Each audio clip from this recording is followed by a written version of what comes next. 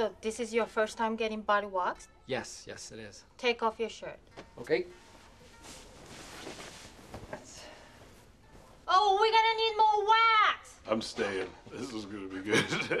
And clear all my appointments in the afternoon. So ready? Yeah. One, two, three,